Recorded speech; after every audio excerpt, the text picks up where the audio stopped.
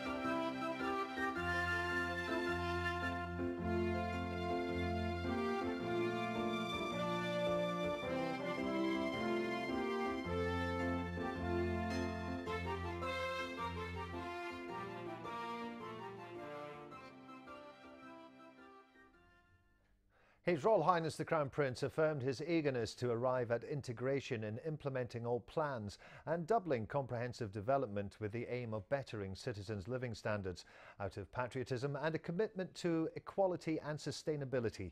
He pointed out that the spirit of Bahrain is the spirit of hard work and hope, which reinforces stability and preserves unity with GCC countries.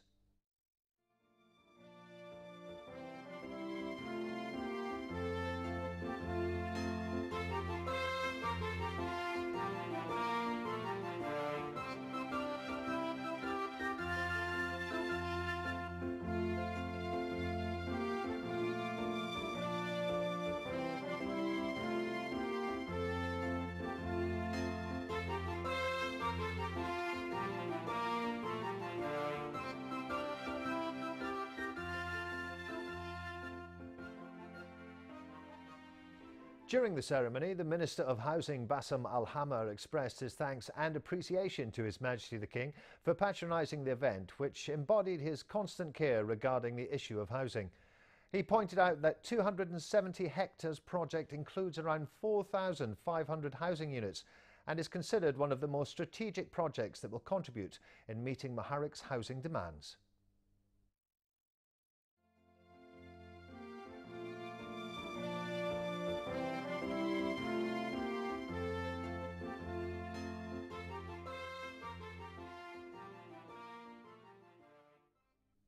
Hilal Al Thawadi made a speech on behalf of the beneficiaries of the East Al Hid housing project. He expressed thanks and appreciation to His Majesty the King for patronising the ceremony, which delighted the families of the project's beneficiaries that will be provided with decent living standards.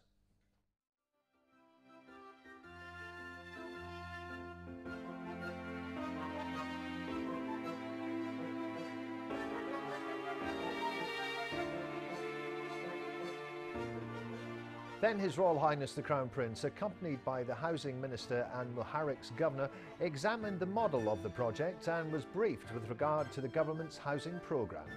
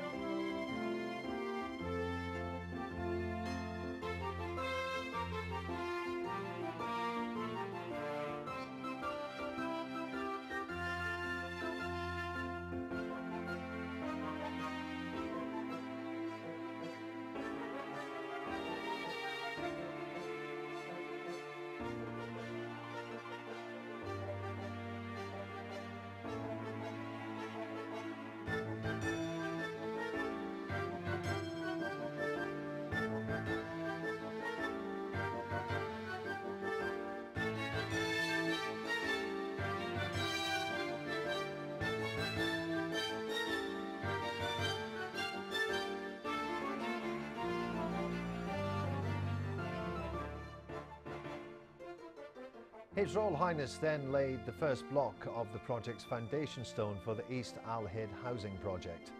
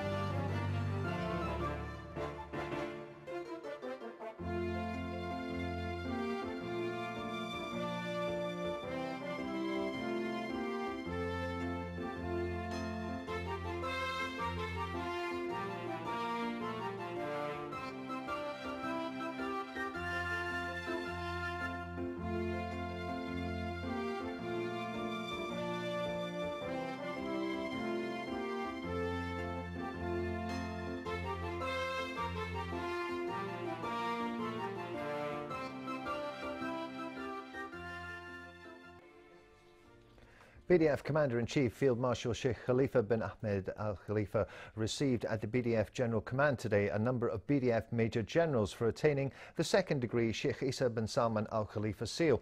His Majesty the King issued a royal decree amending the degree of the seal in appreciation of BDF's officers' efforts in serving the kingdom. On the occasion, the BDF Commander-in-Chief conveyed His Majesty the King's appreciation and good wishes to the senior officers to achieve further progress and prosperity in Bahrain's military military field. He congratulated the officers, praising their achievements and role in defending Bahrain's accomplishments and historic gains. He also wished them success in their military career in serving the kingdom.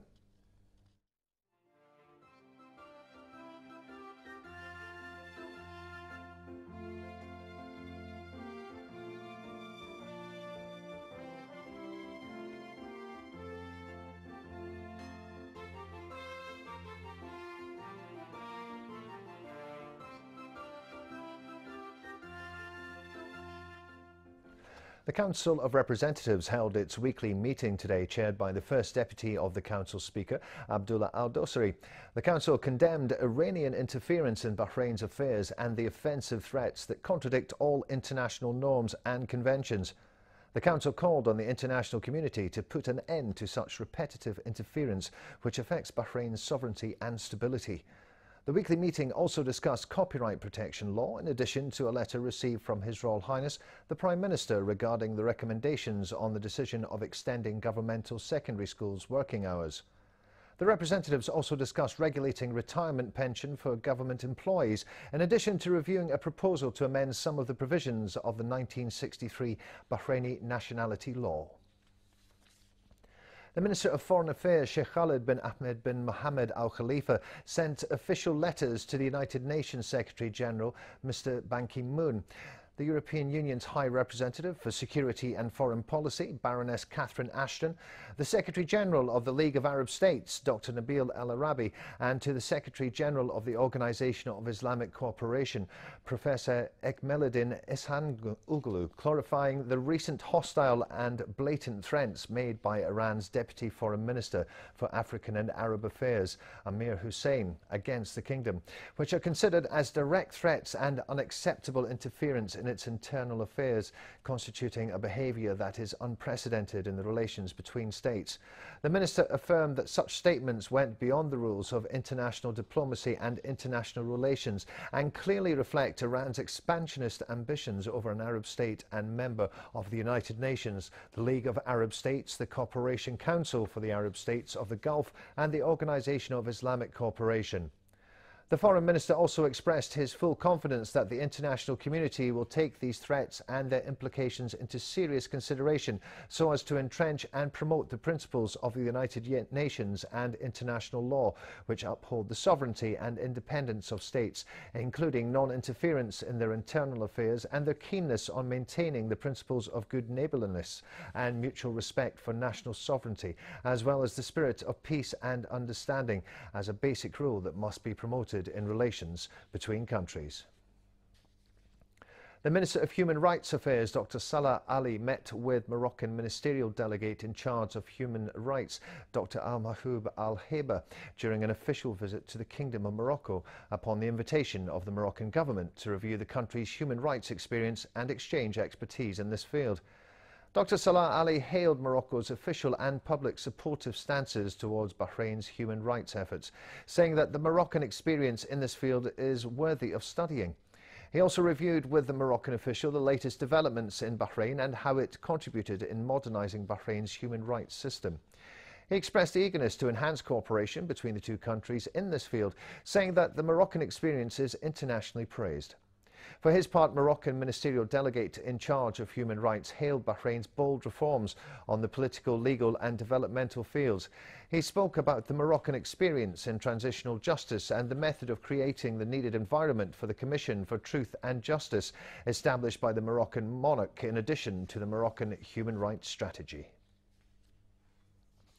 The Minister of State for Communications Affairs, Sheikh Fawaz bin Mohammed Al Khalifa, paid a visit today to Batelco's Network Operations Centre and Customer Services at Salmania. Upon his arrival, the Minister was received by Batelco's Chief Executive, Mr Rashid Abdullah, and a number of officials and employees who briefed the Minister on the Centre's duties, activities and services aimed at solving technical problems. Sheikh Fawaz also visited the mobile phones network customer services centre and the company's data centre, during which he viewed the workflow as well as the development provided.